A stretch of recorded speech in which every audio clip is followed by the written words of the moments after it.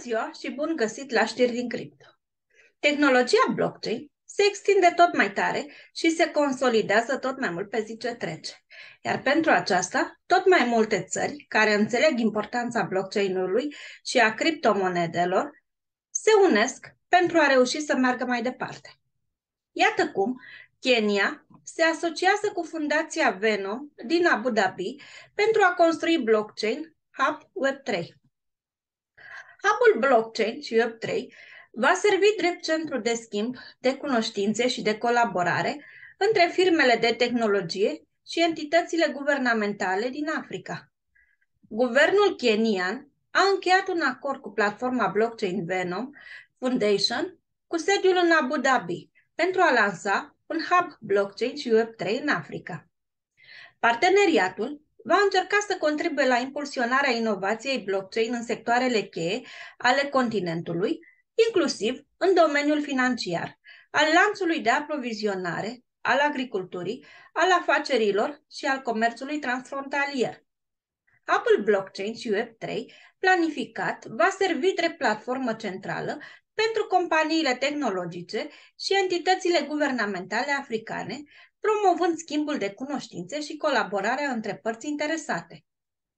În cadrul acordului, Venom va furniza instrumente și resurse pentru a sprijini Kenya și alte țări africane în transformarea lor digitală, inclusiv soluții bazate pe blockchain pentru gestionarea lanțului de aprovizionare, registrul funciar, sisteme de vot și tokenizarea activelor.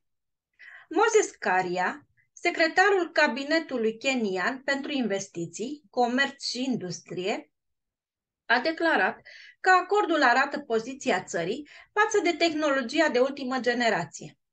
Kenya și întreaga Africă continuă să devină un focar de inovare, inclusiv în ceea ce privește implementarea tehnologiei blockchain. Continentul a fost martor la o creștere de 429% a tranzacțiilor blockchain, deoarece companiile au strâns 474 de milioane de dolari anul trecut, de la 90 de milioane de dolari în 2021. Arată datele de la CVVC. Datele au adăugat că aceste cifre au depășit media globală de finanțare, care a crescut cu doar 4%. Africa este deja bogată în resurse naturale și capital uman, a declarat Christopher Louis Tzu, CTO al Venom Foundation. Prin aducerea pe continent a tehnologiei blockchain de ultimă generație, aceasta va împuternici oamenii și va ajuta nu doar Kenya, ci și multe alte națiuni africane să își valorifice activele și să participe în mod competitiv la noile piețe globale. În ianuarie, Venom Foundation, împreună cu managerul de investiții Iceberg Capital, a anunțat un fond de un miliard de dolari pentru firmele Web3 și blockchain. Fondul de investiții va căuta să atragă firme de tehnologie care să utilizeze soluția blockchain scalabilă, bazată pe dovada de miză a Venom. În altă parte, legiuitorii din Kenya au introdus legea finanțelor 2023 care urmărește să impoziteze transferurile de criptomonede și de jetoane nefungibile NFT.